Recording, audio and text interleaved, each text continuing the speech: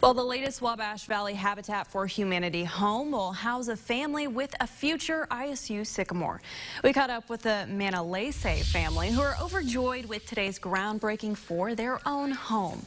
The family moved to Terre Haute from California in 2010. Dahlia brought her two daughters with her and was worried about buying and affording a home, but she decided it was time to apply with the Habitat for Humanity.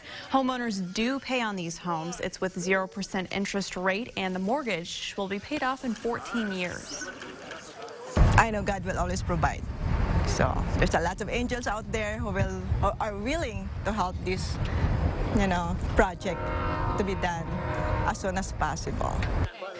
The house is located along South 13th Street. Indiana State University raised more than $34,000 for the project with a goal to raise $60,000.